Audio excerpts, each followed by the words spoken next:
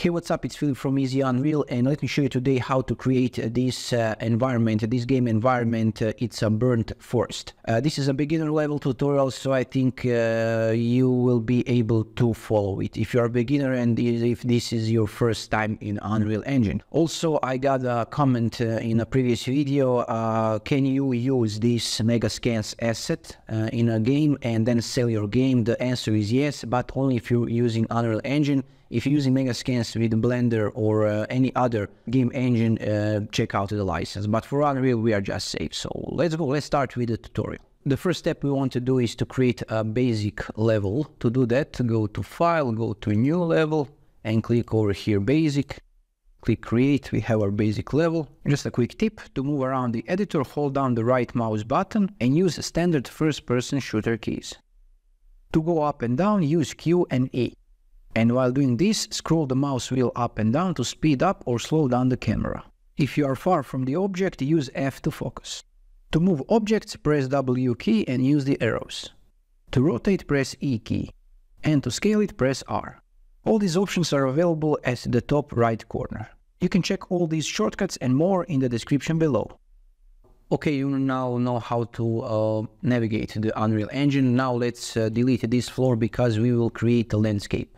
And to do that, uh, click this uh, floor in the outliner, just hit and delete and go on the top left corner, click over here landscape.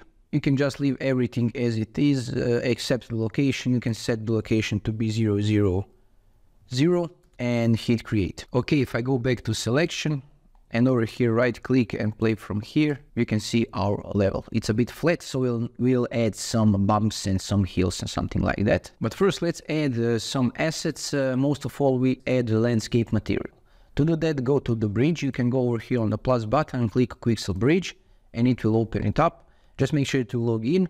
And over here we can go to on the left side go to collections go to environment go to natural and over here you can see burnt forest. And we have a nice collection of uh, assets over here. We'll add some burnt forest floor. So choose which one you like it. I will go with this uh, burnt forest floor and i will use just one uh, material. But if you want to learn how to paint multiple ma materials you can check out this video. It will show you how to do it. So let's click this burnt forest floor and you can just click over here download. Under here you can choose the quality. I'll go with medium and now just click over here, export medium quality, and it will add you to the uh, Unreal Engine. You can see uh, over here under Megascans surfaces this forest floor. And now make sure to select your landscape and scroll down a bit until you see the landscape material. And now just drag and drop this material over here. And we need to wait for a few seconds and you can see your uh, floor material. If I hit play from here, we can see that our materials is small, so you need to make it bigger to, to look it uh, to look uh, more really. So go to uh, double click on your material.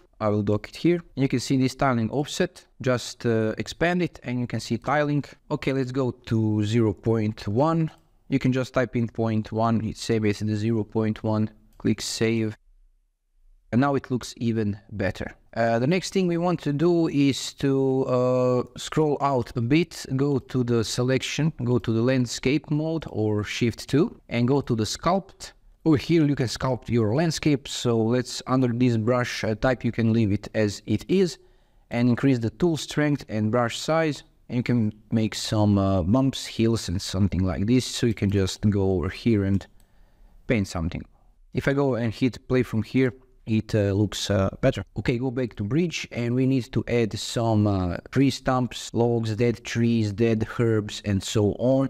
The first thing we want to do is to add some uh, dead uh, herb weed and we will use the paint uh, foliage paint tool. To do that, we will select this and you can do the same procedure, but let's check it out if this Megascans works like this. select first, hold control, select second, third, for example, and let's click over here, download. So apparently this works, you can hold control key on your keyboard and just select your asset, hit download and it will download them all. And now let's hit add.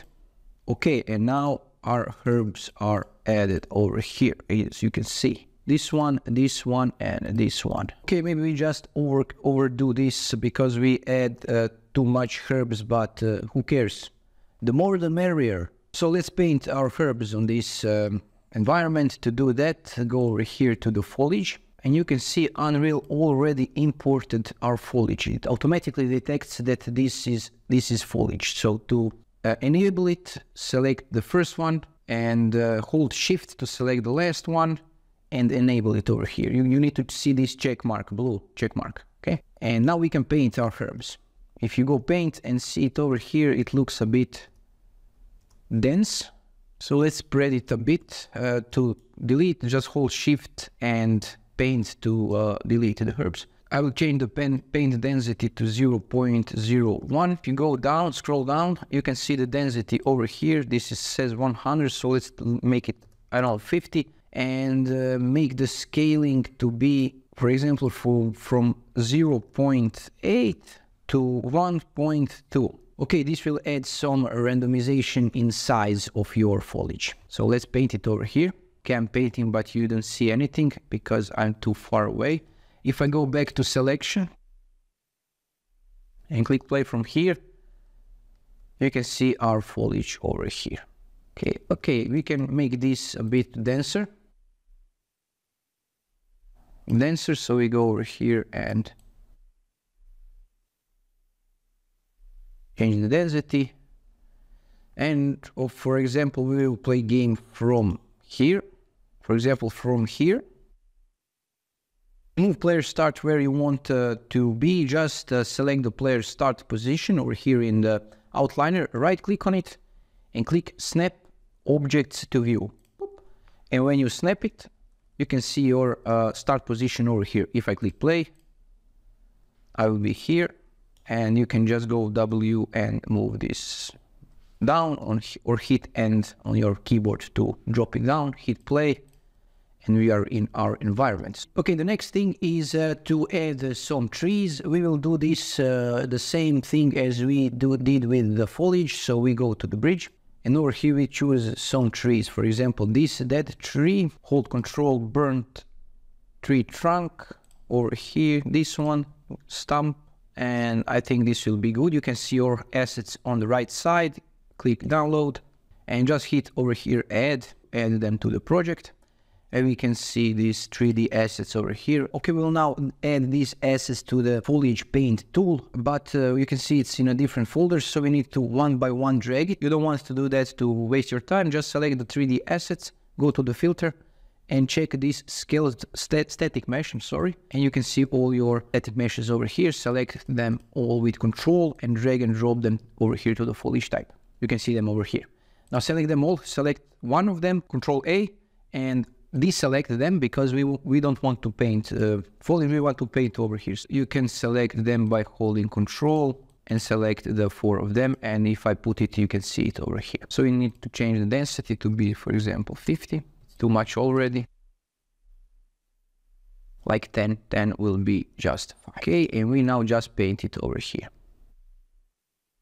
like this and if I hit play we now have something that resembles a level we can also go back to the bridge and select some uh, burnt wood. For example, uh, we can add add some burnt firewood, firewood, firewood. We can add the five of these. Click download, and you know you know the procedures. Just click add, and we will add it over here. And we need to add them to the this uh, foliage paint tool. Is the same thing go to the 3D assets. Static mesh is already selected, so we don't uh, have the problems. We are in a foliage mode. Go here and just add this, this, this. We downloaded again a lots of these things, so um, if you want, you can just download one and play with it just to learn the basics. But if you want, you can download just like me, the 5,000 of them. And the procedure is the same. Select all, unselect this, uncheck this, and now select only this burnt firewood Okay, select them and paint. Are they even here? Oh, something is wrong and I think I found the problem. You can see it over here. This is super small. So we need to change this and go down and change the scale, for example, to be 5 by 5 just to check it out. Okay, the density of 3 is looking just fine. Okay, this looks better now if I hit play you can see your forest over here.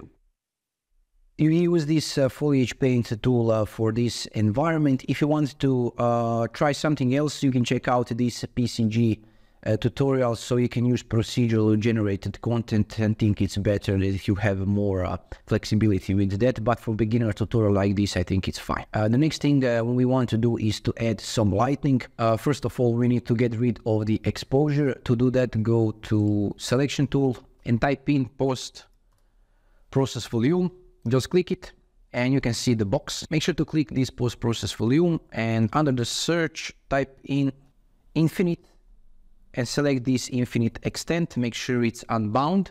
And uh, if uh, this infinite extent is unbound, this means it will affect the whole level, not just this uh, the area within this box.